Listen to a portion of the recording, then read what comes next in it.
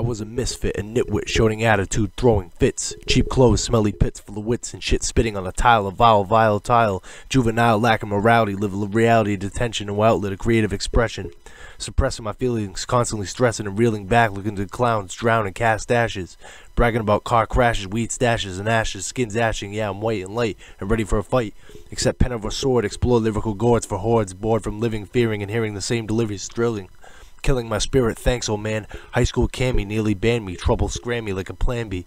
Almost eliminated me. Told me to buy clothes, but I was broke. So that night I invoked my right to explode and provoke my anger through a character, a class act. In fact, a classroom act.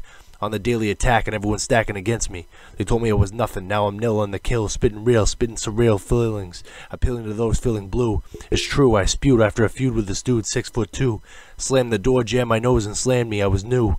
A ruthless stress kid, depressed and put to the test, so I uppercut his ass like Liu Kang. He felt my strike game. His fucking brain came out of his skull, raining down dull gray matter. Guess my grades don't matter, huh, Dad?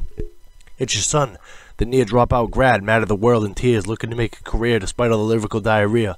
I fear rap takes talent, so take the money and run, dummy, before I destroy your crummy career and buy a four-door Ford Explorer.